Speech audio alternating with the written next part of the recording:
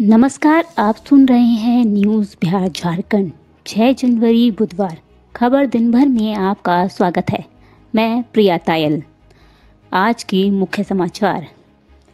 बिहार में कांग्रेस के आधे से ज़्यादा विधायक छोड़ सकते हैं पार्टी, कांग्रेस नेता का बड़ा दावा।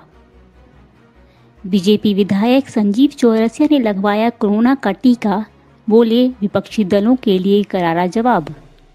पटना में हम के राष्ट्रीय कार्यकारिणी की बैठक के बाद जितन राम मांझी छोड़ सकते हैं राष्ट्रीय अध्यक्ष की कुर्सी। झारखंड में बढ़ती आपराधिक घटनाओं पर बीजेपी नेता बाबूलाल मरांडी बोले, दिल्ली के निर्भया कांड से भी बड़ा है और मांझी दुष्कर्म मामला। केदार कांड पर बिहार के युवाओं ने लहराया तिरंगा, माउंट एवरेस्ट को बताया अगला कदम। अब खबरें विस्तार से।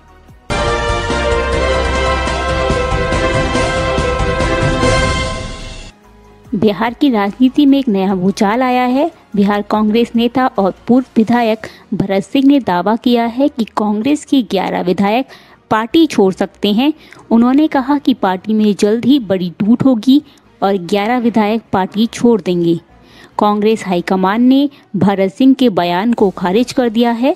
कांग्रेस नेता भरत सिंह ने कहा कि 19 विधायकों में से 11 विधायक ऐसे हैं जो कांग्रेस पार्टी के नहीं हैं, मगर चुनाव जीत गए हैं, ये लोग पैसा देकर टिकट खरीदे और अब विधायक बन गए हैं। संख्या बल से अपने आप को मज़बूत करने के लिए एनडीए प्रयासरत है।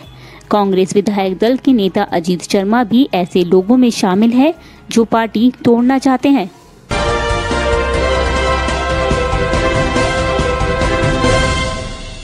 बिहार में बीजेपी विधायक संजीव चौरसिया बिहार के पहले जनप्रतिनिधि बन गए हैं, जिन्होंने कोवैक्सीन के ट्रायल के दौरान वैक्सीन लगवाई है। टीका लगाने के लिए संजीव चौरसिया ने देश को मिली दो वैक्सीन के लिए वैज्ञानिकों और प्रधानमंत्री नरेंद्र मोदी को धन्यवाद दिया है। संजीव चौरसिया ने कहा, मैं भारत बायोटेक के वैज्ञानिकों को धन्यवाद देना चाहता हूँ कि उन्होंने ये वैक्सीन बनाई है। इसके लिए प्रधानमंत्री नरेंद्र मोदी को भी धन्यवाद देना चाहता हूँ। मैंने वैक्सीन के ट्रायल में सहयोग दिया है। साथ ही विपक्षी दलों पर भी निशाना साधा और उन्होंने वैक्सीन के ऊपर राजनीति करने का आरोप लगाया। उन्होंने कहा कि उनके टीके लगवाने के बाद विपक्षी दलों को करारा जवाब मिला है कि यह वैक्सीन पूरी तरीके से सुरक्षित है।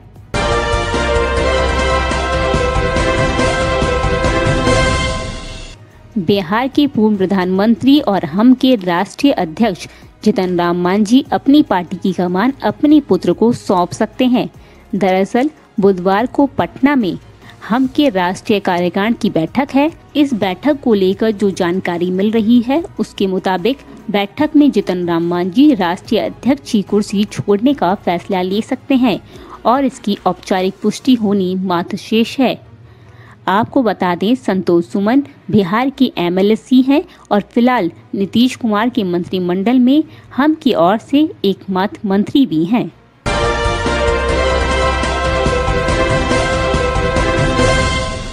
बीजेपी ने हेमंत सोरेन सरकार पर आरोप लगाया है कि राज्य में पूरी तरह अराजकता की स्थिति है और रांची के ओर मांझी में पिछले हफ़्ते हुई दुष्कर्म की घटना दिल्ली के निर्भया कांड से भी घिनौनी है। अब पानी सर के ऊपर जा चुका है। हेमंत सोरेन सरकार राज्य की बेटियों को सुरक्षा देने में पूर्ण रूप से विफल साबित हुई है। दरअसल रविवार को रांची के ओर मांझी इलाके में करीब 20 साल की लड़की का सर कटा बिना कपड़ों के शव बरामद किया गया था। लड़की के साथ बलात्कार किए जाने के बाद हत्या की आशंका है। पुलिस मामले की जाँच कर रही है। इस मामले को लेकर पुलिस और सरकार दोनों पे दबाव बढ़ता जा रहा है। लेकिन पुलिस के हाथ अभी भी खाली हैं।